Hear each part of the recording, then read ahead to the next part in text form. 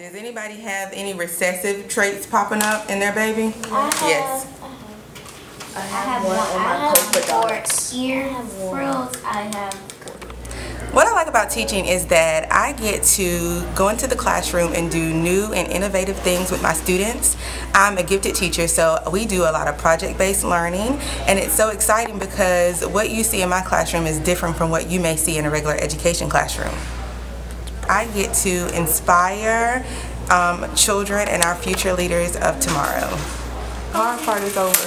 It's literally always because. She's having a complete post. It's like, like she's just like no freckles. no freckles.